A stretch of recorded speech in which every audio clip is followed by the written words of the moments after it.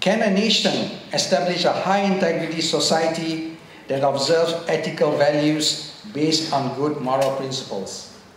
In Malaysia, we believe that this is possible, otherwise we won't have the integrity plan. As the saying goes, every journey begins with one step taken at a time with a definite purpose and intent. intent. In other words, with political will. A meaningful change is unlikely to come about in the absence of strong political will. The process of transformation must start from the top. On behalf of the government, I assure you, this political will today is still strong and going stronger. Political will can be said to be a strong determination to achieve a desired outcome in the case of high integrity society.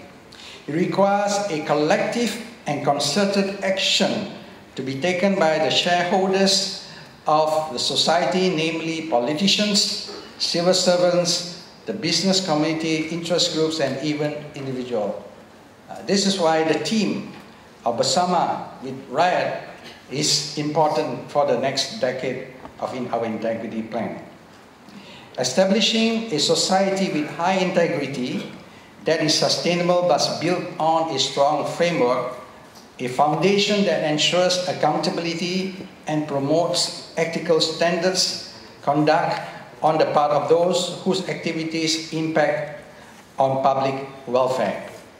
The framework embraces the section of the society and we are glad that we are now coming to the second part of the framework of the National Integrity Plan.